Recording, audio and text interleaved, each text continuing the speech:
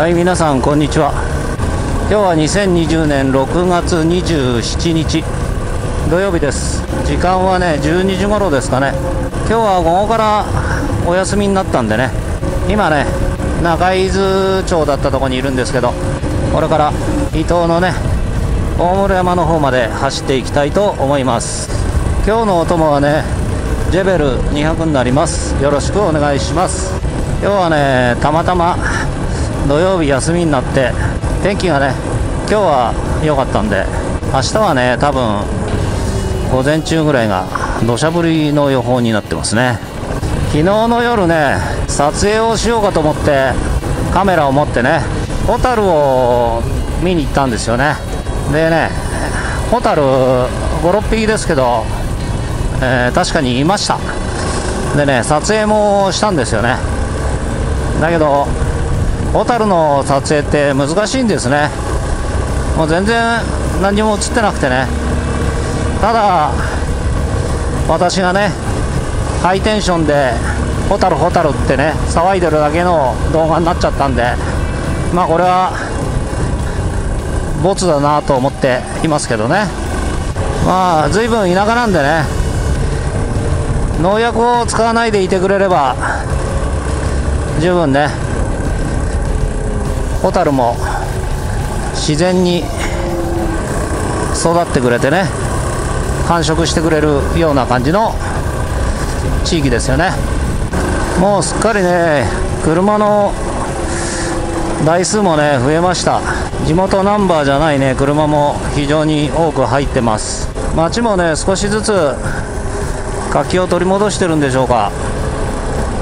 バイクもね気候もいいということでね非常にたくさんね入ってきてます、まあ、田舎の道ですからね車がそこそこ流れてますからこんなね空冷のバイクで走っててもそんなにエンジンが焼けちゃう感じはしないんですけど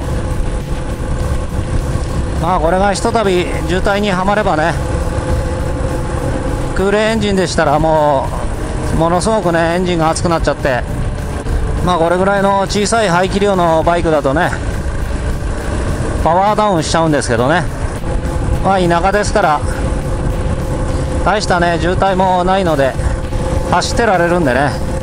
エンジンはねそんなに焼ける感じでもないですね。今日はここを左折してねジェベルなんでねちょっと犬だと軽く走っていきましょう。このね伊東のバイパスの元のね料金所のところを過ぎてすぐのところねここに看板が出てますからこうね右折します。今日はね土曜日なんでいつものね日曜日よりは若干車が少ないような気がしますけどここからね犬ダートに突入しました。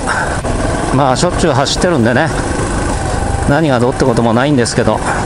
まあでもやっぱり砂利道の方が日陰も多いしね涼しいですよね。やっぱりこんな感じでお散歩されてる方もねいらっしゃいますからあんまりスピード出さないように行きましょう。おおここで車がすれ違うの初めて見ましたね。やっぱいっぱいいっぱいなんですね。普通にねこのぐらいの乗用車でも走ることはできますよ。フラットですからね。下がつくなんてこともないんじゃないかなと思いますけどね。歩いてられる方もねごくごく普通の格好でお散歩してますからね。なんか鼻先が強烈につきましたね。非常にね田舎に来たなって感じのいい道なんですけどね。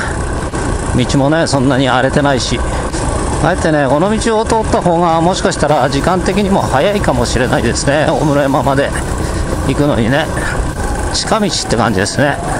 もともとねそんなにピークパワーがねあるバイクじゃないんでアクセルをねガバッと上げてもリアが滑るっていうほど力はないですよね。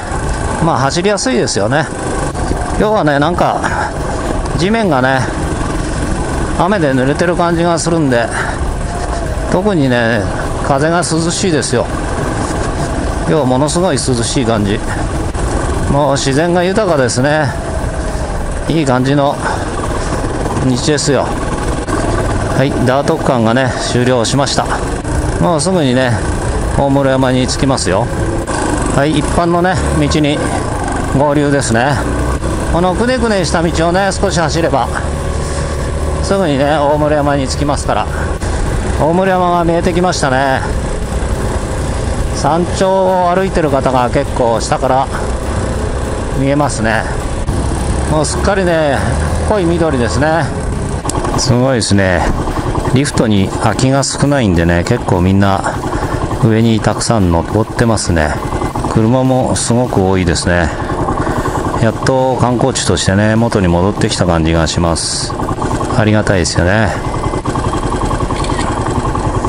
というわけでねこの大室山のリフト乗り場のところからこの動画はねお別れしたいと思います。ご視聴ありがとうございました。それではまた。